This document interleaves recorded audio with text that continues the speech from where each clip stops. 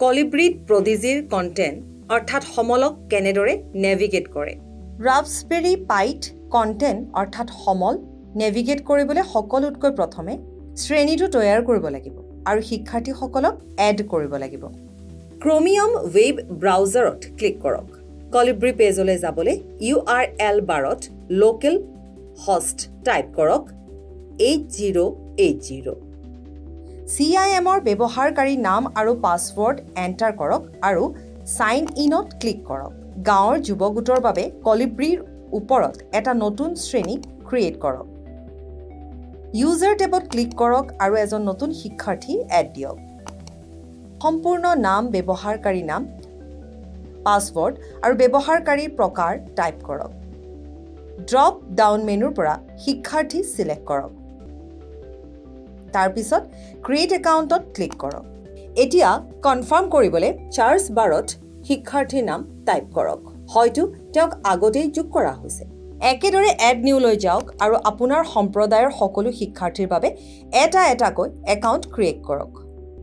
সকলো শিক্ষাৰ্থী এড কৰাৰ পিছত তেওঁলোকক প্ৰথমতে বনোৱা শ্ৰেণীটোত কানেক্ট কৰাওক ইয়াৰ বাবে শ্ৰেণী টেব আৰু এণ্ড্ৰইড ইজেছত ক্লিক কৰক। চাৰ্জ বাৰত আপোনাৰ লগত থকা ব্যৱহাৰকাৰীৰ নাম টাইপ কৰি শিকাৰুসকলক কনফাৰ্ম কৰক।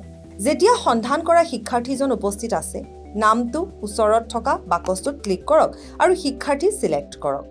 শিক্ষাৰ্থীক সফলতাৰে যোগ কৰিবলৈ কনফ্ৰিমত কৰকত ক্লিক কৰক। এইদৰে শ্ৰেণীৰ সকলো শিক্ষাৰ্থীৰ চাৰ্জ কৰক আৰু এড কৰাওক কলিব্ৰিৰ পৰা প্ৰস্থান কৰিবলৈ স্ক্ৰীনৰ ওপৰৰ সোঁফালে কোণত ব্যৱহাৰকাৰী নামৰ ওচৰত ড্ৰপ ডাউন মেনুৰ পৰা ছাইন আউটত ক্লিক কৰক।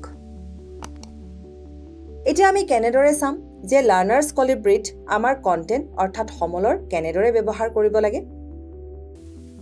চি আই এম এ প্ৰদান কৰা ব্যৱহাৰকাৰী নাম আৰু পাছৱৰ্ডৰ সৈতে লগ ইন কৰক। চেনেলত ক্লিক কৰক আৰু পদিশ্ৰীত ক্লিক কৰক। আপোনাৰ ভাষা ছিলেক্ট কৰক। এতিয়া আপুনি বিভিন্ন বয়সৰ লোকৰ বাবে কণ্টেণ্ট বা সমল পাব। আপোনাৰ পচন্দৰ বয়সৰ গোটটো ছিলেক্ট কৰক। বিভিন্ন উপলব্ধ বিষয়ক ব্ৰাউজ কৰক আৰু প্ৰতিটো বিষয়ত কানেক্ট থকা বিষয়বোৰ চাবলৈ নিজৰ মন পচন্দৰ বিষয় ছিলেক্ট কৰক। যদি আপুনি দেখুওৱা কণ্টেণ্ট অৰ্থাৎ সমলটো ভাগ বতৰা কৰিব বিচাৰে প্ৰথমে সমলটো ডাউনলোড কৰক আৰু ইয়াক পেন ড্ৰাইভ টেবলেট বা ফোনত কপি কৰক।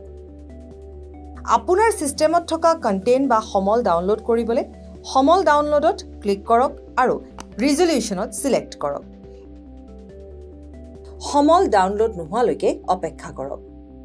সমল ডাউনলোড হোৱাৰ পাছত ফাইলটো ক'ত ডাউনলোড কৰা হৈছে বা ছেভ কৰা হৈছে চাওক।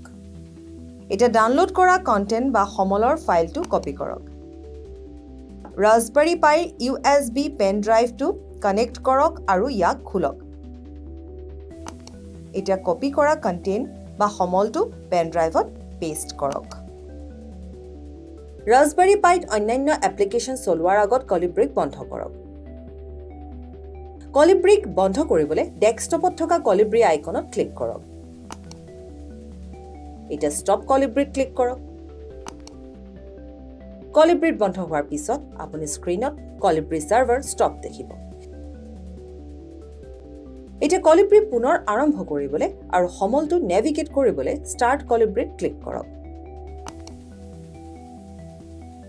যেতিয়া কলিব্ৰি আৰম্ভ হয় আপুনি স্ক্ৰীণত কলিব্ৰি ছাৰ্ভাৰ ষ্টাৰ্ট হোৱা দেখিব।